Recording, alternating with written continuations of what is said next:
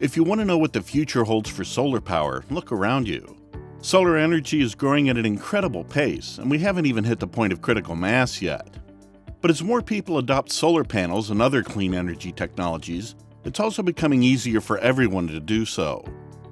Welcome back to Genesis. In today's video, we'll take a look at the future where solar cities will take place. Before we proceed, make sure to subscribe to our channel and click on the notification bell for regular updates. The global energy landscape is changing, and solar power is leading the way. As scientific research into solar energy yields promising results and technological advances continue to improve the efficiency of solar panels, solar cells have become an increasingly practical source of clean energy. As more and more people begin to understand this, it's becoming clear that solar power will play a critical role in our future. Solar energy can be used to power many different things, and the idea of putting solar panels on everything is not new. Most of us have seen solar panels installed on top of houses or even sidewalks. But what if they could be made transparent so they blend in with windows? This is exactly what a team of researchers from Michigan State University has been working on for years now.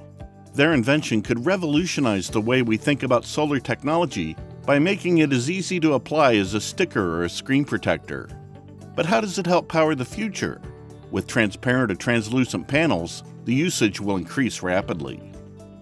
Transparent solar panels made of perovskite, a form of crystalline silicon, could generate enough electricity to power entire buildings and cities, making solar energy much more accessible and economical than it is today. Solar cities could completely change the way we power our world, powering every home and business with clean energy. At 5% efficiency, they're far less efficient than conventional solar panels, but this technology is still in its infancy and will only improve over time. Solar City and Dow are two companies that offer translucent solar shingles. Solar City uses organic ink to print four different wattage levels of solar cells onto flexible glass, while Dow uses high speed roll to roll manufacturing technology to print photovoltaic cells onto sheets of glass future era will be largely powered by solar energy. Solar City has created a brand new corporate structure that makes solar energy affordable for everyone. Microgrids, which are decentralized electricity generation systems that supply power to a small region like a town, neighborhood, or collection of communities, are how we anticipate solar energy spreading to developing nations.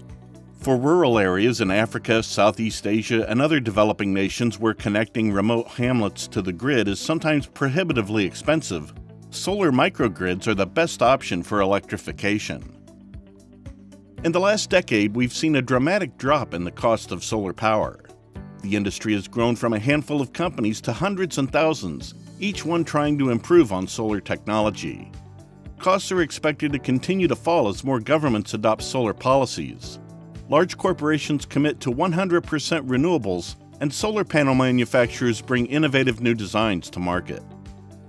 It's pretty clear that the price of solar energy will continue to decline with or without policies to accelerate its spread.